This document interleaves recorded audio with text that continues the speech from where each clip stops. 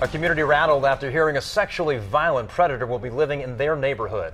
The man who abused two boys and two girls will live with his wife. It's a story we've been following since 10 News got word of re his release yesterday. 10 News reporter Dan Haggerty live in Skyline with the reaction from neighbors. Dan.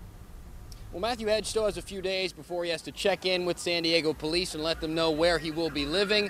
As you mentioned, most people expect him to move in with his wife, a San Diego woman who he met after his conviction.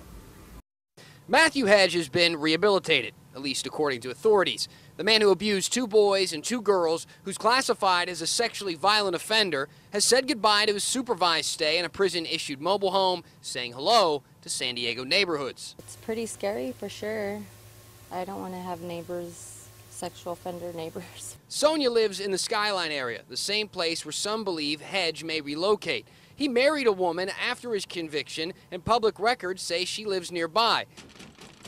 We stopped by that address, but neither Hedge nor his wife were there. Sonia hopes it stays that way. Uh, our system needs to have some type of freaking recovery for these people, for they, sure. They, well, in fact, they do have a program. That's why Hedge is out. And one of the first steps of that program is admitting your crimes and your desire to reoffend. Statistics are statistics, and they don't lie. They always reoffend.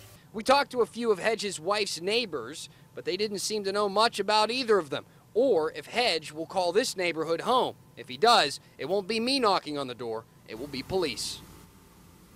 So once, once Hedge finds a place that he wants to live, he'll check with police, register it.